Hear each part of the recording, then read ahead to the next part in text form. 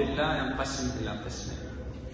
أن يظن بالله خيرا فيما يختص بنفسه أو يختص بغيره أو في هذا الكون. وهذا لابد أن يكون عليه أهل التوحيد والإيمان. أن يظن بالله غير الحق. يظنون بالله غير الحق ظن الجاهلين هذا ظن الكافر والمنافق. فيما يختص بنفسه أو بغيره في هذا الكون. لابد أن تظن بالله خيرا فيما يختص بنفسك ترضى بالقضاء والقدر. ولو رضيت بالقضاء والقدر فمن رضي له الرضا.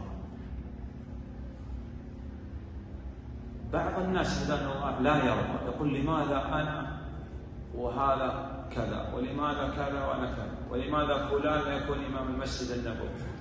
ولماذا الآن الجو حار والجو بارد ليس لك إلا العلم إيش؟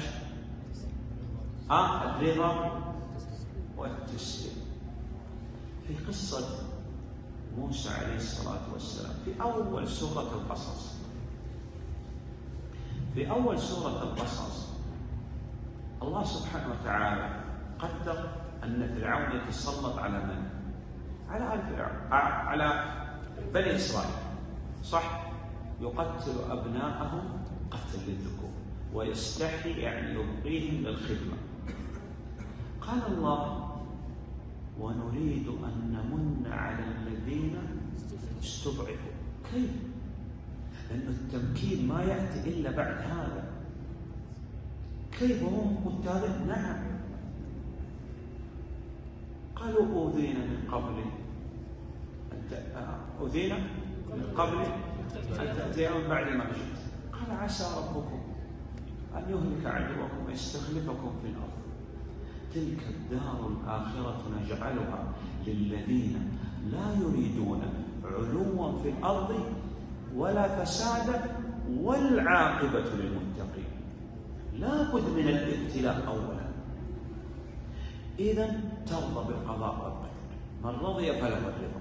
تتسخط تعترض على القضاء والقدر. تقول لماذا كذا؟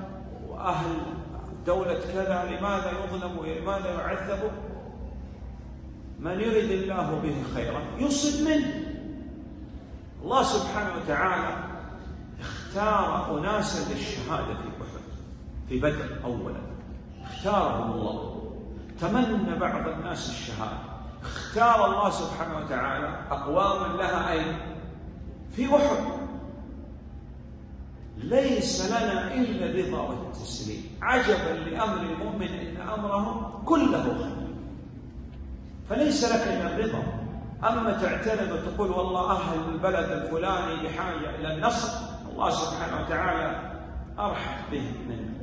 ماذا نصنع؟ ندعو نبذل كل ما أعطانا الله سبحانه وتعالى من استطاعة في نصرة هؤلاء في حدود الشرع ولا نخالف السلطان. هذا اللي نقدر عليه الآن. نقدر عليه نستطيع بهذا. لكن اعلم أن هذا الابتلاء لهم كله كان خير ليس بشر. نعم كما حصل للنبي صلى الله عليه وسلم. قلت لكم نبي الأمة ابتدئ في غار. يوسف عليه الصلاة والسلام يسجن بلا ذنب. رب السجن أحب إلي مما يدعونني إليه.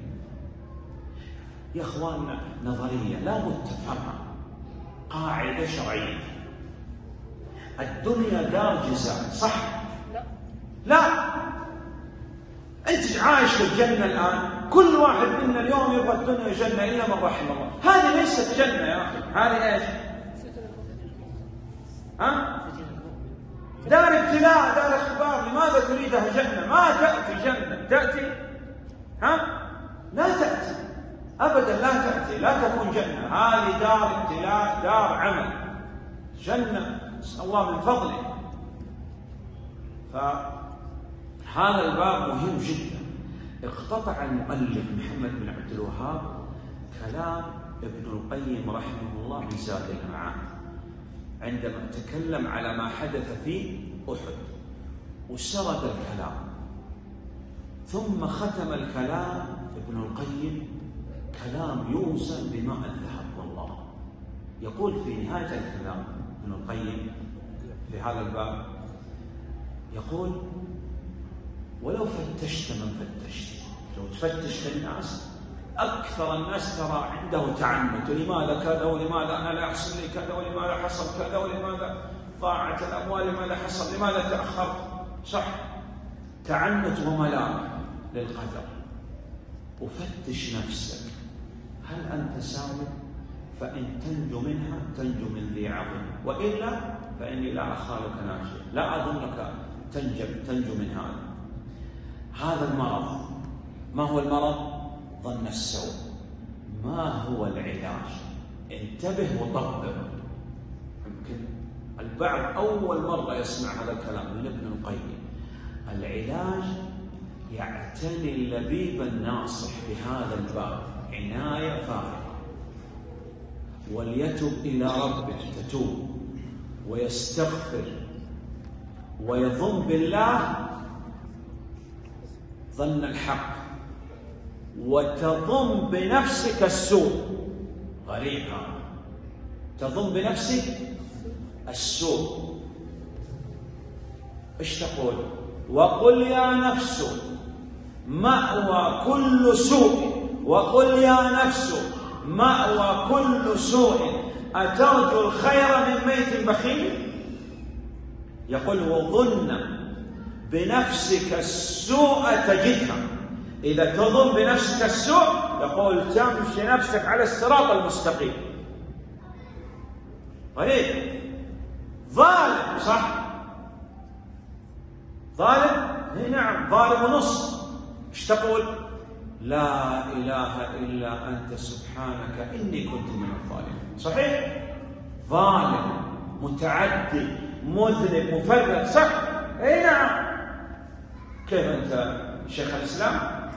شيخ الإسلام كان يرى انه مذنب ومقصر الله المستعان.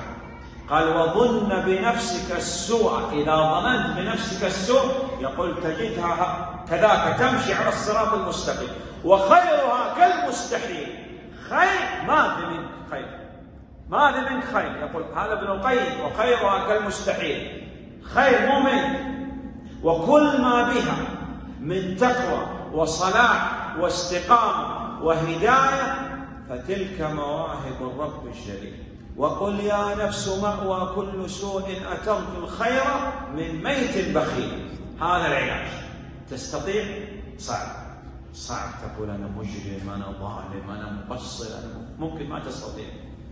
لكن هذا كل ما بك من تقوى وصلاح واستقامة وهداية وأمر بالمعروف وصلاة وصيام فتلك مواهب الرب الشديد صح؟ لا إله إلا أنت سبحانك إني كنت من الظالمين. صح؟ أي نعم.